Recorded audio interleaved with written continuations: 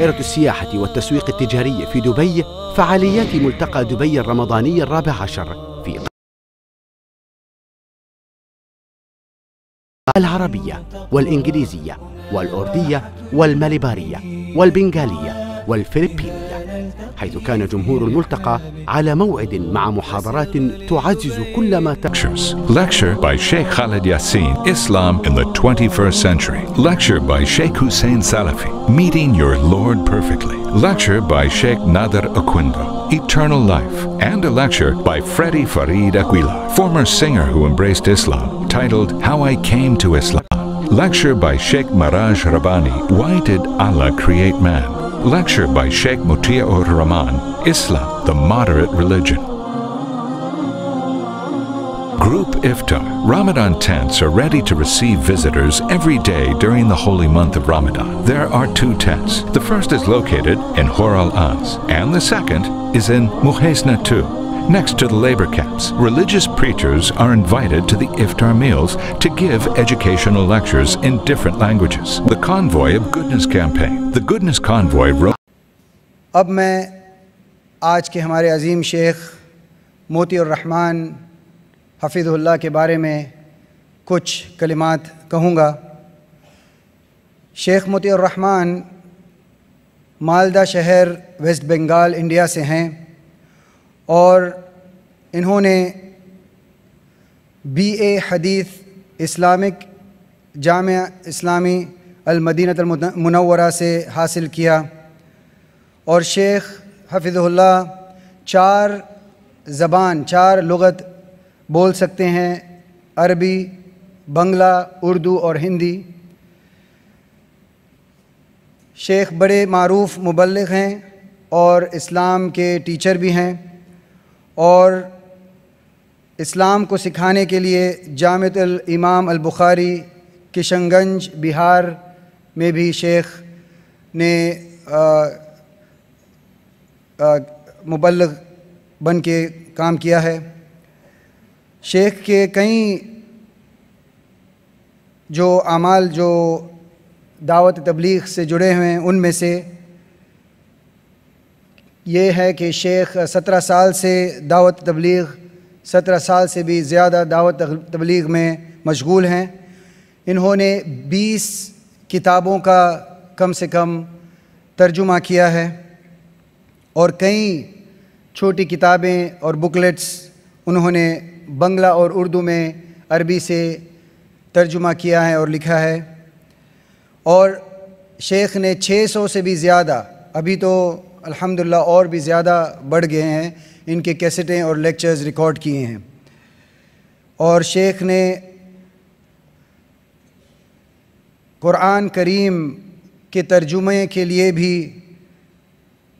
जो publish, Kuwait में publish हुआ है, उसमें भी उन्होंने काफ़ी मेहनत की है। अब मैं शेख रहमान से दरख्वास्त करूँगा कि वो आएँ स्टेज पे और अपने आज का जो उनवान है, उससे हमें इस्तफादा पहुँचाए जो बंगला ज़बान में होगा। शेख मोती रहमान जजाकल्ला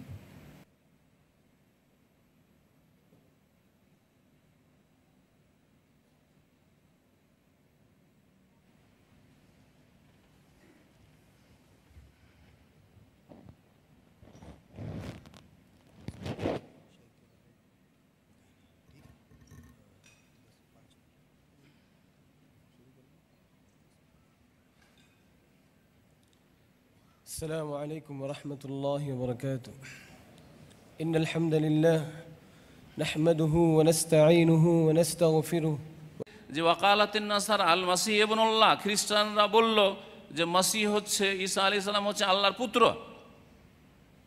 আর আল্লাহ রব্বনেশ্বরা মায়েদাই বলছেন আয়াত নম্বর তিহাত্তরে লাকাদ কাফার আল্লাদিনা কালু ইন্নাল্লাহ সালিস সালাসা ওই সব লোকেরা কাফের হয়ে গেছে তাহলে তারা মমিন নেই আল্লাহ পাক কোরআনে ঘোষণা করছেন, তারা কাফের হয়ে গেছে। যারা বলে, ইন্নাল্লাহ সালেস ও সালাসা আল্লাহ রব্বুল আলম তিন এলার তৃতীয় তৃতীয়বাদে বিশ্বাসী, যে তৃতীয়বাদ বর্তমান খ্রিস্টানদের ধর্ম।